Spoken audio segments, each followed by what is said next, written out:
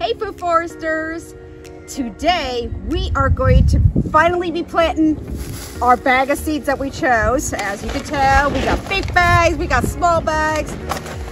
It's the beginning of March. The last frost has come and gone.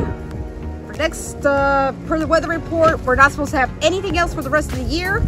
So we are actually going to start planting now because we do leave our plants outside. It's a little bit windy today, but we're to go ahead and show you what we're planting and how we're planting it.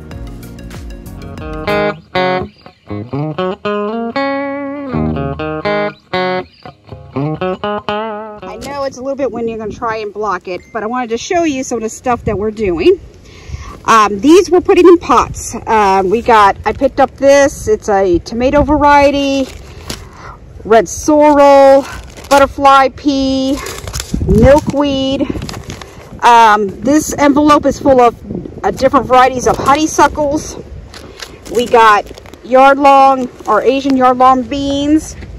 Um, this year, a friend of ours got us some cotton seeds. So we're going to actually try and grow some cotton seeds. I have my Confederate jasmine. We are doing ah, the wind, um, the sweet Thai Asian basil, the hot peppers, spinach we're starting out in pots, and Italian big leaf basil. Now, hold on, me add weight to the ones that are going to float away. now, over here, um, these are going to be direct sowed into the ground. So we're not going to start these off in pots or anything. We're actually going to start these off in the ground. We got um, sweet corn. I got two different kinds. Um, we're going to do radishes, um, Florida cranberry. We got carrots, more pole beans. This is red crepe myrtle. A lot of this is sunflowers and Mexican sunflowers.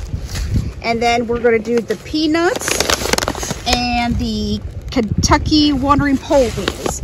Um, a lot of these are the ones in the Ziploc bags are pretty much the ones that we harvest ourselves. And then uh, the other ones were either given to us or we kind of picked up uh, from the local store. So we're getting started here and uh, we'll go ahead and take you guys along. All right, got my duct tape, got my pen, so that way we can mark the pots. And over here, Donald, um, a friend of ours gave us this metal rack thing. Um, the It moves, you know, it, it slides a little bit, not bad. But we're gonna go ahead and put the seedlings on here so that way, one, it's easy to spray with the water. And then two, if we have to put it in the greenhouse, we just pick it up and move it right into the greenhouse, which we have open today. We should get these tomato plants out. Yeah. But as you can tell, we got to definitely get in here and clean it up and get it all taken care of. So here we go, guys. All right. This is our process. Amy is labeling and planting the seeds. Okay. Just duct tape and a magic marker. All right, she's planting the seeds in there.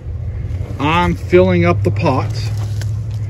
I'm filling up the pots in the wheelbarrow, with the wheelbarrow.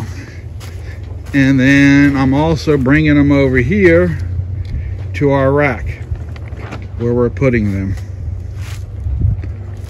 All right, we'll get back with you when we get more done here's what we got done. We got some crepe myrtles that Amy likes, the red crepe myrtles, and we got some different varieties of honeysuckle. There's uh, six different varieties here, and we got each of those labeled.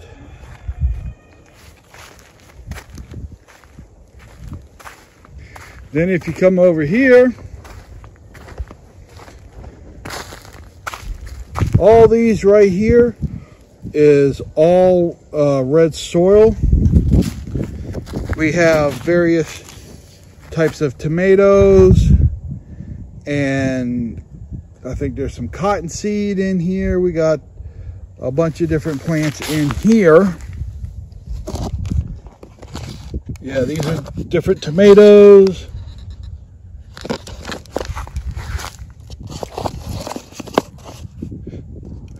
More tomatoes. Well, maybe these are all tomatoes. Yeah, these are all tomatoes. These are all different varieties of tomatoes.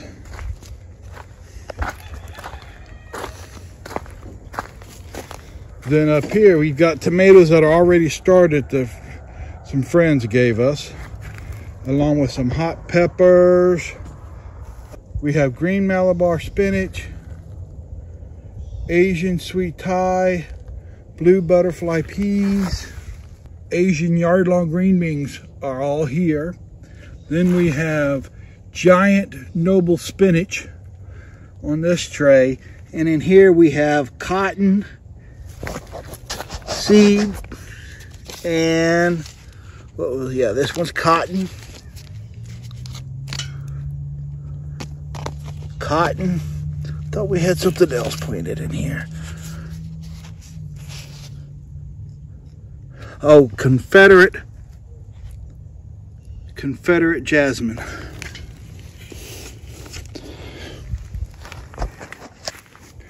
And if we go over here in the greenhouse, I have, uh, I tried, we got lots of cuttings of the uh, purple passion fruit. And in here, I, I'm trying to start some seeds too and see if we can get this, get them to start from seeds. I haven't tried that yet. All right, guys, so that's about it for our planting today. Um, we're still going to do some peanuts down there, and we're going to clear all that out there, and we're going to put some corn and other things that back in the old chicken coop or the old chicken pen. All right, guys, this is a baby green lynx spider. They are um, harmless to humans. If you do get bit one, by one, it's a uh, like a mosquito bite. But they're good keeping pests out of your garden. All right, wait, wait. Oh, he jumped. jumping. He jumped. Where did he jump to? There he goes. Look, he's checking you out.